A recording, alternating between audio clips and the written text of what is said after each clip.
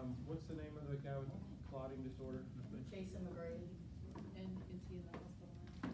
You He said was at UVA, he, he was sent home a few days ago, so he's home recovering. They said it would be a slow, long recovery. Okay, could you pray for Jason?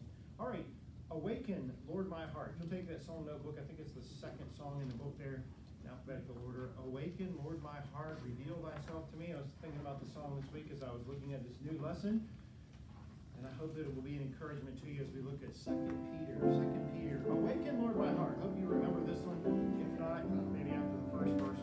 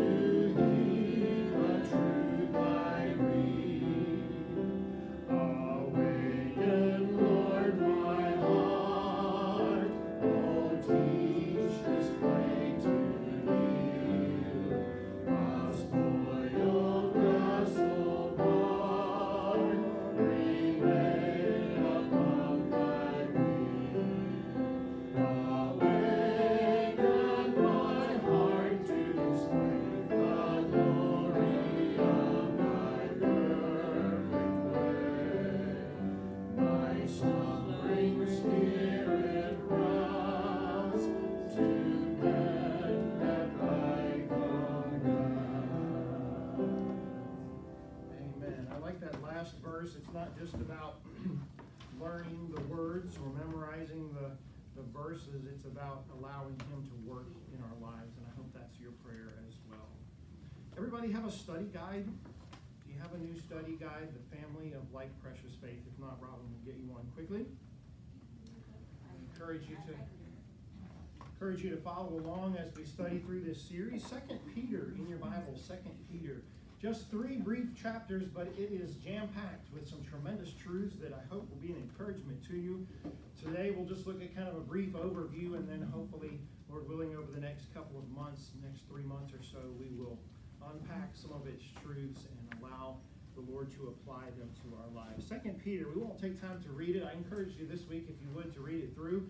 Let me encourage you to do something perhaps this week as you look into lesson one.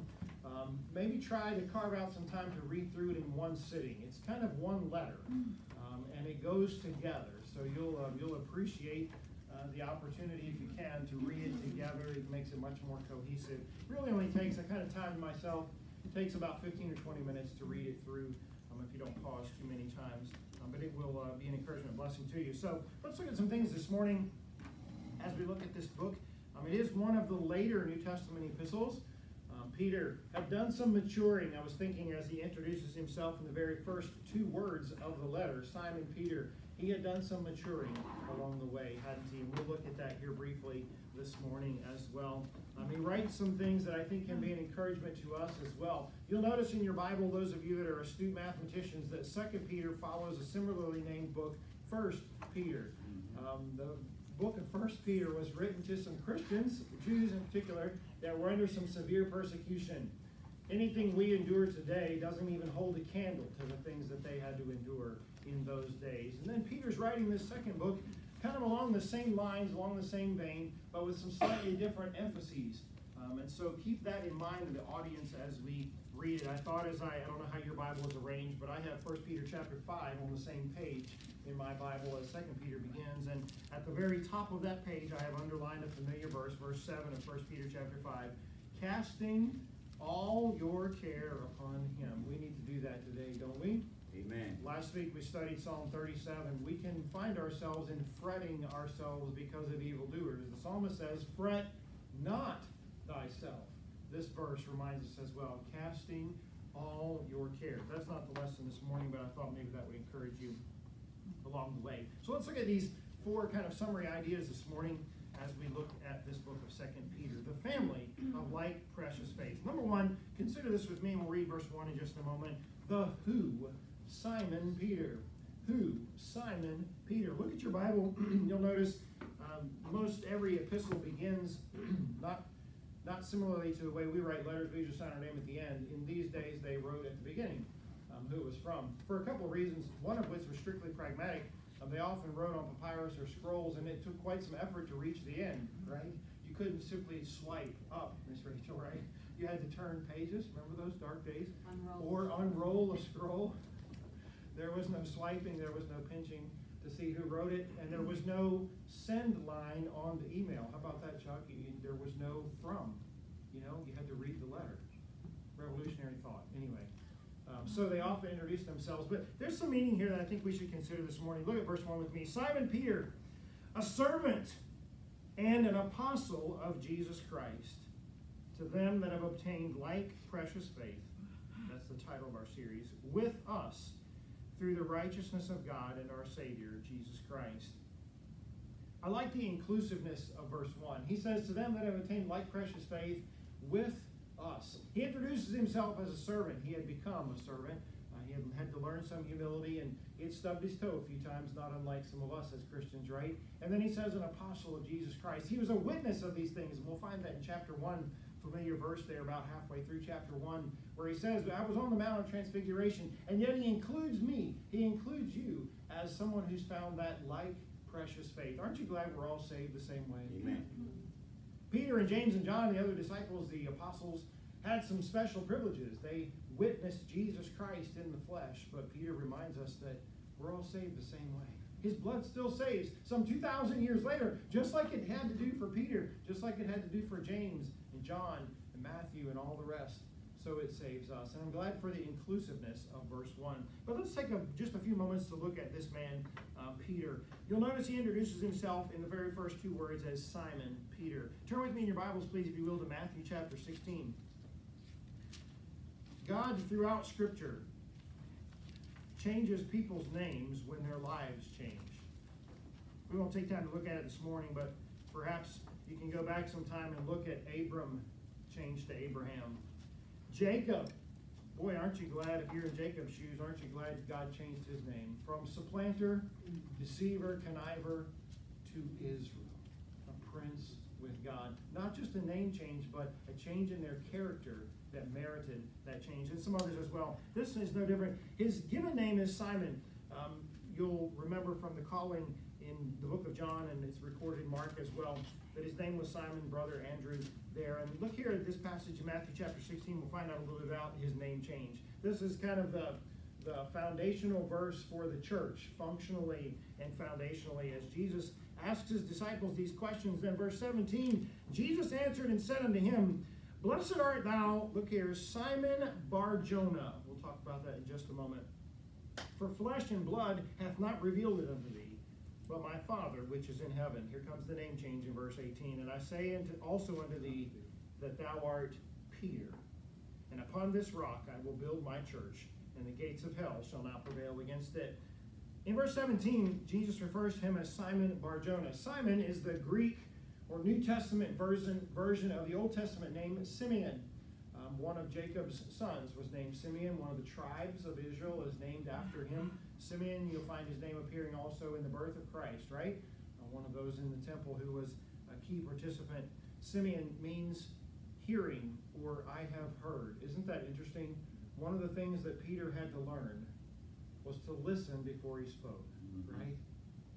I think as he introduces himself as Simon or Simeon, perhaps he's reminding himself that, Lord, thank you for helping me learn to listen. Remember, he was very impetuous, right? Yeah. And we, we applaud his energy, right? He was a go getter. I mean, if you said jump, he asked how high on the way up, right? But sometimes he got a little bit ahead. Remember, Jesus was patiently, at the end of the book of John, trying to explain to his disciples what was going to happen. This is God's eternal plan. I'm going to the cross. Yeah. I'm going to be arrested. I'm going to be tried. I'm going to die, and I'm going to rise again. And almost before Jesus gets finished explaining what's going to happen, no, I'll never let that happen. Right? You know that he denied Christ three times afterwards. Although all men may leave thee, but not me. Well, Peter, you need to listen first. Right? Jesus had told him this would happen, and yet in the garden, when the soldiers come, the man that comes with Judas, when they come, Peter's the first one out with the sword, right? Whack off the ear. Fortunately, it was just the ear. Jesus healed him, but off with the ear of the high priest servant. Peter, you need to listen. This is part of God's eternal plan. So I find in his name some interesting things that encourage me. One of the reasons we study God's word is for us to listen to the Spirit of God speak to us through his word. So he introduces himself as Simon. And then notice here in verse 17 as well, uh, his surname, or perhaps we would call it today our last name or family name, Bar Jonah. It's very simply defined as son of. Bar means son of Jonah. His father's name was Jonah. Same um, kind of arrangement several other places in Scripture. As I looked at that, I was reminded, and you can turn there if you want over to Matthew chapter 26. And I don't probably have mentioned this to you before, but I think it bears witness or bears reference again. Matthew chapter 27. There's another bar mentioned in Scripture. Matthew 27, verse 16. In the crucifixion of Christ, remember Pilate in his great striving for political correctness. I won't say what political party he may have been associated with, but anyway, we'll let Mr. Campbell tell you who Pilate was associated with, right? But he thinks I'll make a deal with the Jews, right? There's a mob. Well, don't let me get too far straight here, but there's a mob. There's a riot. So instead of quelling the riot, let's see if we can appease them. Boy, does that sound strange to you or very familiar, right? That's Pilate's go. Okay, well, here we go. Here's a bad dude. I'll offer him instead of Jesus. Here it is, Matthew 27, 16. And they had then a notable prisoner called Barabbas. We often say it that way together, but it's actually a compound name just like Bar Jonah. It's Bar Abbas, which means son of the Father. Here's a great exchange. I'm encouraged every time I think about this. When I see Peter's name, Bar Jonah, I think about Bar Abbas. The son of the Father was allowed to go free because the only begotten Son stood in his place. The truth is, all of us are Barabbas, right? We get to be the Son of the Father because his only begotten Son took our place. That's right. So Barabbas is not, you know, sometimes we use his name in a rather derogatory fashion. He was allowed to go free and Jesus died, but you know what? We're all Barabbas. We're all the son of the Father. We all are adopted as his sons because we are allowed to go free when Jesus takes our place. Amen. So I know that's a, a bit of a trail from Simon's name there in the book of Second Peter, but I hope that'll be an encouragement to you. No matter what happens in our world, in our society, no matter what kind of restrictions or persecution or whatever name you want to call it, we may have to go under. Remember, Jesus took your place. He took my place. I am, Brother Cliff, Barabbas. That's right. Barabbas was allowed to go free that day. I've often wondered, you know, we don't know any more about him. There's some historians, Josephus and others, that have given some accounts about Barabbas, but none of them have much veracity, none of them have been um, very well vetted or verified. So we don't know. We won't know until eternity. But I wonder, I just wonder if Barabbas realized sometime after the fact, after the riot had gone away, after the crucifixion was complete, after the resurrection was noised abroad, I wonder if Barabbas, this notable prisoner, became a prisoner of Jesus Christ. Wouldn't that be a great victory for grace? Yeah. Wouldn't you like to be strolling the streets of gold one day or going down to pick that fruit at that tree that grows all the time there, Brother Cliff? right? Amen. Strolling along the street and you, you go along beside this guy and somebody says, Hey, you know who that is? That's Barabbas. Amen. Wouldn't that be tremendous? I don't know. It's just conjecture on my part, so I won't give much uh, veracity or weight to my statements either. But wouldn't it be great? I have to believe that at some point, Barabbas realized what had happened in his life, who Yeah. took his place. Then the second part of Simon's name there, as he introduces himself in the book, is Simon Peter. We find this in Matthew chapter 16. Jesus gives him this nickname or um, this substitute name, Peter, a rock. As you think about Peter's life, he went through a transformation. He was not necessarily as steady as a rock when Jesus first took him from where he was. Neither were we, right? He was a rough fisherman. He had, at sometimes, great faith. Here comes somebody walking on the water in the middle of the night. The disciples are all afraid, and Peter says, If it's you, Lord, I'm paraphrasing here, let me get out of the boat and walk with you. Either he was crazy or he had a lot of faith, Brother Cliff, Yeah, right? amen. And then at other times, we've toiled all night and caught nothing. Nevertheless, I mean, can you, this is like the pillar of faith. Can you hear this in his statement? Nevertheless, at thy will, I will let down that. That's not exactly stellar expression. Yes, Lord, I'm going to let down every net I have. If you said it, I'm going to catch as many. as-" Nevertheless, at thy will. We, we understand that, right? We're human just like Peter was. Yeah. I will let down the net. He does, and it's such a great draw to fish, it almost sinks two boats. Yeah. As a fisherman, as a commercial guy, I'm wondering if he was scratching his head at some point saying, why do we only let down one net? He didn't have much expectation in that, did he? Not much faith. Peter, this is the Lord Jesus, the creator of the universe. He made all the fish and the sea that the fish are in. Amen. And you let down one net. No wonder your boat's about to sink. The Lord does that for us sometimes too, doesn't he? Yeah. I mentioned the accounts around the crucifixion. He warmed himself by the fire and with foul language denied the Lord Jesus, who was being led away to die on Calvary for his sins. And yet, a little over a month later, with great boldness, now he's beginning to act a little bit more like Peter, isn't he? He stands up before much of the same crowd that cried oh all night, Crucify him! Crucify him! They falsely accused him. They had mock trials. They insisted that Pilate call him. He said he's king of the Jews. That crowd, Peter stands up and says in Acts chapter 2 Listen, this Jesus is both Lord and Christ. And with great boldness, thousands were saved. Yeah. In the very next chapter, Peter and John going up to the temple to pray. Remember that story? The book of Acts? Here's a man that's been laid at this gate his whole life, begging alms. Peter says, most of us can identify with this, silver and gold have I none, right? But such as I have, seriously, I give unto thee. Yes. Get up and walk. And the man walks, jumps, rejoices, leaping. Wouldn't you do that as well if you hadn't walked your whole life? He's not just going to stumble along. He's watched people walk past him. Imagine, I was thinking about this as I was reviewing this illustration for the lesson from Peter's life. Imagine the years that that man had watched people walk past him. It says he was laid at the gate. He, if he couldn't walk, then very little chance that he did much standing as well. So he has a unique perspective on everybody that came into the temple for years, from the knees down, right? Mm-hmm. Children skipping along, parents holding by the hand, be quiet, we're going into church. Right? Strong men, fishermen like Peter, striding in with no thought about putting one foot in front of the other and just walking. Maybe skipping, if somebody like me, skipping every other step, right, up the steps of this temple. Older folks, having walked their whole lives, perhaps this lame man observed the well worn knees and swollen ankles of older folks that have made many journeys laboring their way up the temple steps and into the temple to worship. Yeah. Perhaps he witnessed special events. New bride and groom walking side by side, you know, matching step for step. You've seen that happen, right? Miss Rachel and Mr. Bruce, they still do that, right? Hold hands and walk along together.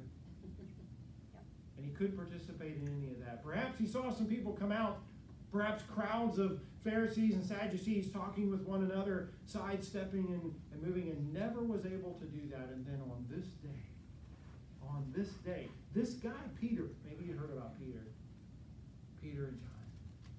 He was associated with that one Jesus. He said, Get up and walk, and he did. And then he becomes becomes before the same crowd again, this same group of these high priests and, and the ones that had had these mock trials for the Lord Jesus. And with threatenings that were very real. Remember, this was fresh in Peter and John, and the rest of it was fresh in their minds. This threat was real. They had put Jesus on the cross. When they threatened him and said, Don't do anymore, they had some teeth in that threat. Peter says in Acts chapter 4, there's none other name given among men whereby we must be saved. He says we can't help but speak the things which we've seen and heard. Now he sounds a little bit more like a rock, doesn't he? And he goes on throughout the book of Acts. I won't rehearse the whole book of Acts for you, but there's some meaning in his name as he introduces himself in this book, Simon Peter.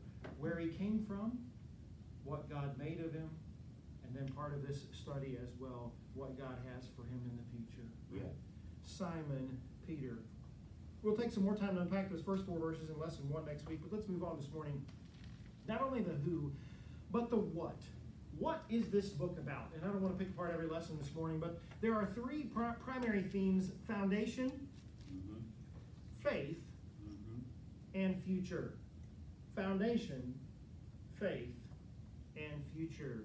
That's the what of this little book. We find those things in the first few lessons, some foundational things that he reminds them of. Then we, we find that it requires the exercise of some faith. It's enough to know some things, but if we don't exercise our trust, our belief in those things, Right. James says faith without works is dead. And all this, as he closes the book, we'll get to this in a few weeks, hopefully. We'll get to this. There is a future. Aren't you glad this is not it? Amen.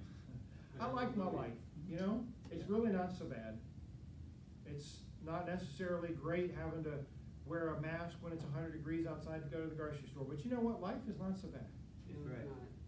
And I'm glad this is not it. That's right. I'm glad this is not it. There's something better coming.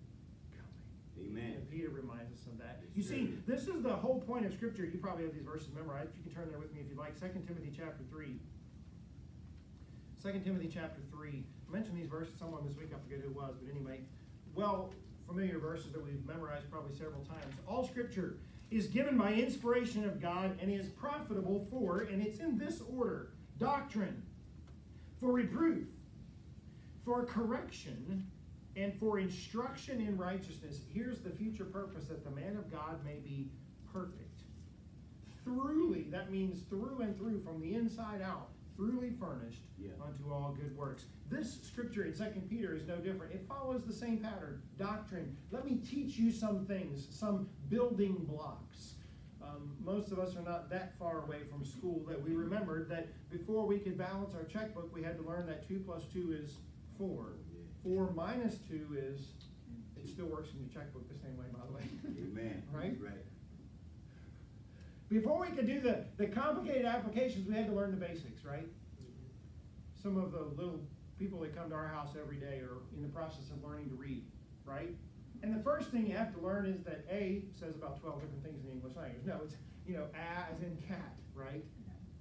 And you put together, we're excited when they read to us three letter words. The fat cat sat. Yes! And we give out M&Ms and all kinds of things, right? Right? Chuck's gonna come to our house and read. But we have to learn those foundational things first, right?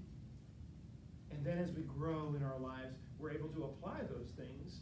And we learn, Peter does the same thing. He lays this doctrinal foundation. And then, as in all good scripture, there is some reproof. Here's where you've, you've gotten away from it. You know, part of going to school are red, I guess they still put red marks on papers for things that are wrong. Is it still okay to be wrong? You know, to have something marked wrong? I know we can't keep score T-ball, but You know, it's okay if you get the problem wrong to be told that it's wrong, right? Part of the learning process. Robin used to teach some upper level math, like advanced math, and there's like, what, two questions on the whole test?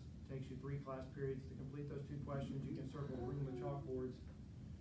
And she would sometimes give partial credit because, look, if you worked for 45 minutes on one problem and you got off somewhere in the first 12 minutes, you know, you kind of can be discouraging if you get the whole thing wrong. So she'd give partial credit for some things. But she would, I remember watching her when she was teaching, mark things or circle them or, or make notes. This is incorrect. This is wrong.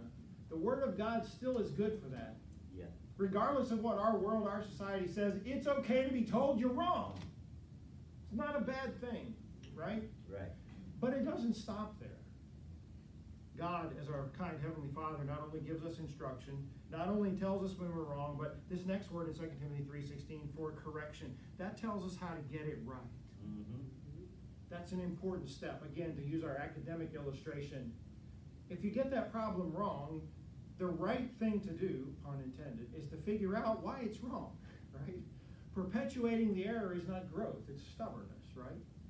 But if you figure out, oh, I forgot about the exponent, right? Or in history, I got those two people confused, John Adams, John Quincy Adams. I still remember getting that wrong in the list of presidents on a third grade president's test. And to this day, I still think about that every time I Let it go, brother. I know. Let it go. That's it. Was right in this room, right over here, beside the, the room right beside the uh, thrift store. That's where I had third grade. Miss, forget her name now, but anyway, I remember that test. I can show you the desk where I was sitting, facing that chalkboard, and I got my test back, and I had those two presidents mixed up. It's the only thing I got wrong on the test. Anyway, not that you care about that, but correction helps us get it right, and the Word of God does that. Second Peter does that for us as well, Yeah. right? That's right. helps us get it right. And then here's the part that keeps us from making mistakes in the future for instruction in righteousness. That's the overall, overarching reason that Peter and others, under the inspiration of God's Holy Spirit, wrote these books to us to help us in, apply the learning of God's Word so we have this instruction in right living so that we can be thoroughly furnished. So we'll find these things as we study through this book. Not only the who of Simon Peter, but these three main themes. We'll unpack them in separate lessons, but along these lines foundation, faith, and future. And then when was this book written? If you read through it, I was reading through it several times this week again, and I thought, boy, it could have been written today, couldn't it? I mean, it's as relevant today as it was the nearly 2,000 years ago when Peter penned the words. Uh, but it was written, as we still call today, in the last days. The last days. Not only in an overall sense, but in a personal sense. Let me show you what I mean. 2 Peter chapter 1, verse 14. Peter, in his perspective, realizes that he's running out of time. Here's what he says in verse 14. Knowing that, what's the next word in your Bible? Shortly. I must put off this my tabernacle, even as our Lord Jesus Christ hath showed me. Now, the Lord Jesus had given Peter some special encouragement that you're going to die for me. You've said you would, you will, right? Told him there as, the, as we close the book of John, his worry about what about John? What about him? Jesus says, if he tarries till I come, don't worry about it. You're going to die for me. I'm paraphrasing here, but he knew he was going, but in a broader sense, all of us know that, right? Yeah. Mm-hmm. The Lord Jesus has showed us that as well. For the book of Hebrews says it's appointed to man once to die. Peter or Paul writing to the Corinthians says to be absent from the body is to be present with the Lord. Even the Apostle Paul says to the Philippians, to be departed be with Christ is better, but I need to stay here for you. And I will, he says, in spite of the difficulty, the imprisonment that he was actually under as he penned the book of Philippians. But Peter says this, and he knows this, and we reflect on this in a personal sense this morning, knowing that shortly I must put off. You know, it doesn't matter if we have our three score and ten. If, as Moses said, by reason of years we make it to 80, or Mama makes it to 87, right? That's still shortly Yeah. in view of God's eternity, That's right. right? I mean, in a broad perspective, we're still only here for a blink of an eye. Amen. Sometimes we become our own worlds, don't we? And mm-hmm. sometimes we need the perspective of a book like Second Peter to remind us that even though we are personally important to God, we are infinitesimally small. I was listening to um, Brother Cruz, Tim Cruz this morning from Shining Light Baptist Church down in Monroe, North Carolina. And he's given this illustration a couple times, and I think I shared some of it in our nursing home study several months ago about the, the heavens. Mhm. It's estimated that just in our galaxy of the Milky Way, just in our galaxy, there are over 200 trillion stars.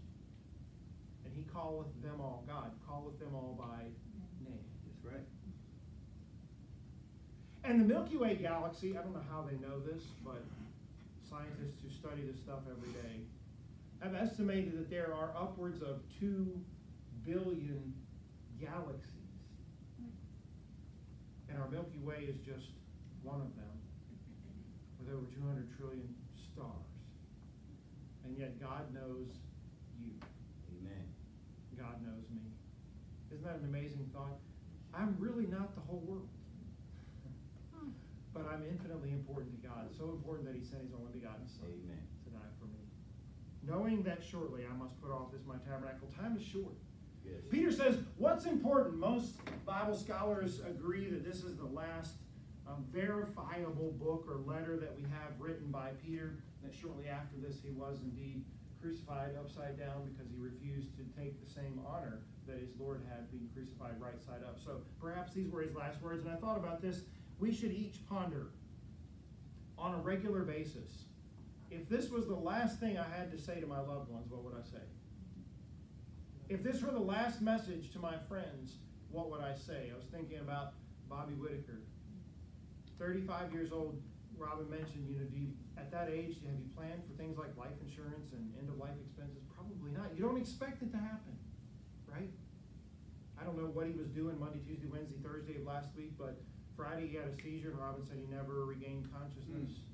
Hmm. Went out into eternity just a few days later, right? If the conversation I had with my loved ones, if this was the last one, if I know that shortly I must put off this my tabernacle, what's most important? We have the privilege of reading here inspired scripture for all eternity of what was important to Peter. What God told him was important to pen in his last words. But it's a sobering thought for us. I don't want to be morbid or, or fatalistic, but we should think often if this was it, have I said the most important things? Have I written the most important things? You know, uh, perhaps it's a good reminder for us. You know, you can still write letters and put stamps on them, put them in the mail, and several days later they deliver. I know it's a shocking thing, right? There's these boxes in front of people's houses with red things on the side. You put those up. This car comes, picks them up, and a few days later they show up in somebody's other similar receptacle called a mailbox, right? We should perhaps take the opportunity to do that sometimes. But if I had one more opportunity, Peter says, shortly I'm going to go. But I want to tell you this now before I go.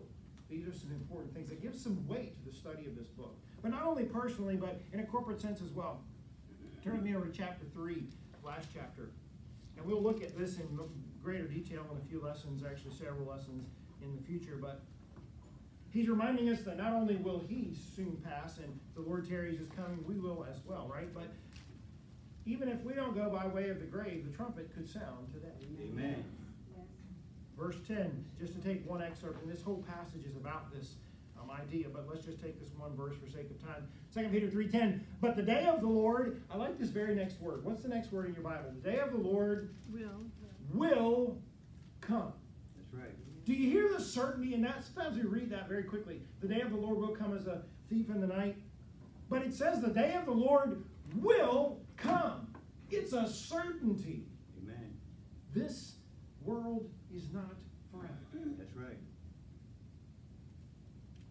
This letter was written, and he believed it the day that he penned this, again, nearly 2,000 years ago. He believed that it could happen that day, and it could happen today just as real as it was 2,000 years ago. Yeah. We'll study about God's long suffering given us in verse 9. But verse 10 the day of the Lord will come as a thief in the night, in the which the heavens shall pass away with a great noise, and the elements shall melt with fervent heat. Mm. The earth also and the works that are therein shall be burned up. I don't know if you follow space kind of things. I've always been intrigued by it. In fact, I watched the watched the launch of the SpaceX Dragon a couple months ago from Cape Canaveral. it was postponed over one day to the next day anyway. I, I get a thrill out of that kind of stuff. Well, today they're headed back to the Earth, right? Supposed to splash down over near Pensacola, Florida. And one of the things that Space Shuttle went through the same thing. Everything that's ever come back from space to here has to endure this great fire. It really does. The vessel, the meteor, whatever comes into Earth's atmosphere, if you've ever seen a video of it or even a depiction of it, it's the thing is on fire. Yeah. And the astronauts are hopeful that all the engineers that worked on this had it right, right? Because one little leak and you're a goner. Thought about that today. I think they're supposed to land later on this afternoon. Splash down in the Gulf of Mexico over there. Yeah. But I thought that is just one small demonstration of what God's holding in store, right? Mm-hmm. Again, when was this book written? Why are these truths so important? That's why I wanted to take this time to go over this this morning. Because these are the last days. That's right. Amen. I have to often remind myself sometimes we can become a little complacent, can't we? And life is busy. I don't care if you're working or going to school or you're retired or whatever. I mean, days just fly by, don't they? Yes, they do. People look forward to, my parents say this often, people look forward to retiring. And then almost everybody I know that has retired says they're busier now. They don't know when they ever had time to work. Him. Right? I am. with, with some exceptions, right? If you're gonna do it, do it right. That's right. But many, if not most people who retire, very often say, I'm so busy now, I don't know when I had time to work, right? Mm-hmm. And much the same, you know, where my mom said this when she retired from school for 46 or 47 years, she taught school. And her whole life, she never, never not went to school. Mm. From the time she was a little girl, she went to school as a student, went right from that into college, from college into student teaching. Student teaching started teaching. And the very first August or September that she was retired, it was a revolutionary thing for her. Because she didn't, for the first time in her life, she didn't go to school. We kind of live our lives by schedules like that, don't we? Some, sometimes the same for work, right? We've gone to work our whole lives, then we retire and, wait, I don't go to work today? What, what, what do I do? And then pretty soon we figure it out and our time fills up. But before we know it, days go by, weeks go by, months go by. It's been six months now since this thing started, right? And it's, sometimes it seems to just have flashed by, Mhm. right? But we need to be aware that the trumpet could sound That's right. today. Mhm. Amen. This could be the day. That's right. I was gonna sing the song for you, but I'll spare you. This could be the day that the Lord will come again. This could be the dawning of that day. I Still remember our choir singing that when I was a little boy, right? Yes. Great song. This could be the day. The day of the Lord, look at that verse again, will Will. come. Be encouraged, Christian. Peter was writing this to encourage them as well. The day of the Lord will come. They had endured some persecution, they had endured some affliction.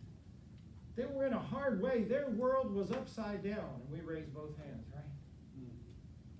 Peter says, The day of the Lord will come. I'm going, Peter says shortly, the day of the Lord will come. And let me encourage you as we study this book to keep in our minds every day, the day of the Lord will come. He's got a plan. Yes. This is not it. That's right. There's something better.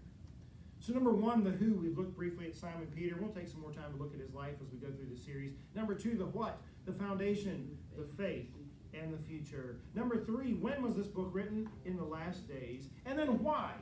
If we're going to read something, we should know why. Mm-hmm. Fortunately, Peter tells us why. And I'll summarize it this way, and we'll look at it again over the course of the series. Remember and revive. Remember and revive. Let me show you briefly what I mean. Uh, in 2 Peter chapter 3, verse 1, I kind of like it when you read a book of the Bible or a chapter in the Bible and the writer tells you exactly why he wrote this. And this, this is the case in 2 Peter 3. This second epistle, beloved, I now write unto you, in both which I stir up your pure minds by way of remembrance. I don't know about you, but I enjoy my Bible reading. I like, uh, Susan was talking about some of the devotion books that we've been waiting on, I guess with shipping delays or whatever during this time, but I like, enjoy my devotions, I enjoy the perspective of the writers, but probably the thing I enjoy most about my personal devotions is just my Bible reading. It reminds me of things. I love, perhaps you have the same thing, I don't know if you mark your Bible, but I've underlined probably thousands of verses in my Bible. And very often as I read through those, my Bible reading schedule has taken me through the book of Psalms. In fact, it was rather apropos that as we finished the last series, I read Psalms, I think it was 35, 36, and 37, the same week that we had that last lesson, but in the 60s now, but whatever it is. But I'll come across a verse that I underlined. Yeah. And perhaps you do the same thing. Perhaps not only its truth is brought back to your memory, but perhaps a situation in your life in which that verse had special meaning. Yeah. why you underlined that verse, why you memorized that verse. I've got, I started doing this again for my mom. Um, some verses that are songs, I remember we're looking in my mom's Bible and she had two little eighth notes, music notes in her Bible in the margin. So I do the same thing.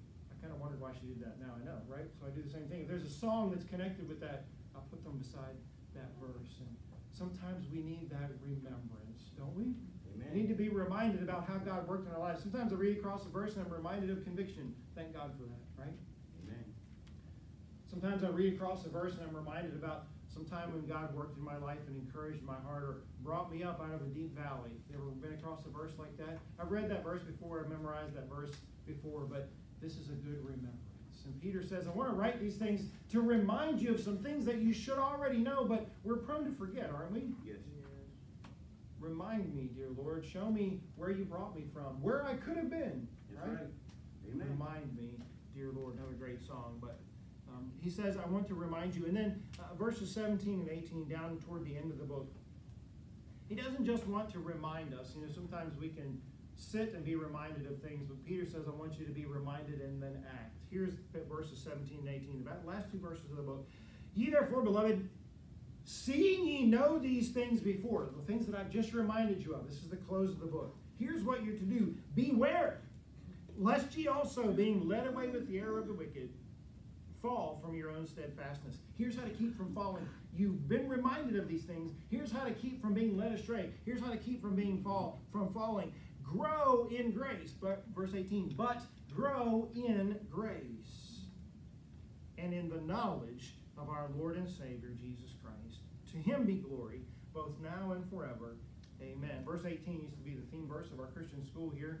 It's probably printed in many yearbooks or annuals and other things as well um, over the years, but grow in grace. And of course, the meaning there was to grow here at grace, and many of us have over the years, but, but grow in grace. We should take the things that Peter's teaching us, the things that he's reminding us of. He wrote this to his readers in this day. Take those things and grow. It should make us, as he says in the middle of the verse here, want to know more. Grow in the knowledge of our Lord and Savior Jesus Yeah. Christ. That word grow, if you want to diagram a sentence, anybody remember diagramming? Do they still do that, Miss Rachel, in school? You know, I don't think they do any. Really? Work off the preposition? Uh-uh. Yeah, you know, you draw the line, subject, verb, didn't the preposition. addition, they have a paper with a table to figure it out. Oh, really? How sad. What? Anyway, if you were diagramming this verse, I digress, which is different from diagramming, but anyway, if you, if you were diagramming this, the, the verb grow applies to both of the direct objects. Grow in grace and grow in the knowledge of our Lord and Savior Jesus Christ. Both apply. Grow in grace. Have a renewed appreciation. That's one reason I wanted to sing that song. Lord, awaken my heart. Re- restore my slumbering spirit to be a- aware anew of your grace. Yeah, amen. I hope I never get over God's grace. How about you? Yeah. Hey. And I hope that spurs me to grow in the knowledge of my Lord and Savior, Jesus Christ. I should want to know more about Him. When I realize what He did for me, Amen. when I realize His grace and His mercy, I should say, Jesus, I want to know you a little bit better. today. Amen. Let me get a little closer. Amen. Amen. These are the last days. Yes, they are. I would like to hope that when I reach heaven, the Lord Jesus is not a stranger, Yes, that's right. That I recognize Amen. That's right. Not talking about with these physical eyes. But the moment I see the blessed Son of God, I hope that in my eternal then heart, I say, that's my Jesus. Amen. I know him. That's right. Hey, I may not recognize Elijah. I don't know what he looked like. I may not recognize Bartholomew. Brother Clue might, but not me, right? But I hope I know the Lord Jesus. Don't you? Amen. And the way to do that is that he's revealed himself. He, the living word, has revealed himself in this blessed That's book. right. That's right. Lord, help me to know you Yeah. a little bit better. Father, thank you again for this opportunity we have to study the Word of God together. Thank you for the opportunity to jump into this new series of Second Peter. Teach and instruct our hearts. Amen. Keep us safe and healthy and strong. And Lord, those that haven't been able to gather with us for a while, pray that you'd soon be able to bring them back. And Lord, as we study this individually and personally, may it indeed help us to grow in grace. May it help us to grow in our knowledge of who you are. Remind us of some things. renew our foundation. Give us renewed faith. And Lord, as we look toward the future, may it help us to be energetic in our witness for Christ and enthusiastic in our living for Christ and our testimony each day. Bless as we study this series. We need your spirit to apply it to our hearts, and we know that only you can do that, and so we ask for it. Bless the remainder of this day as we fellowship around the Word of God, as we offer to you our thanksgiving and our songs of praise. May you be glorified. May your people be edified, strengthened, and uplifted. For we ask this in Jesus' name. Amen. Amen. Hmm.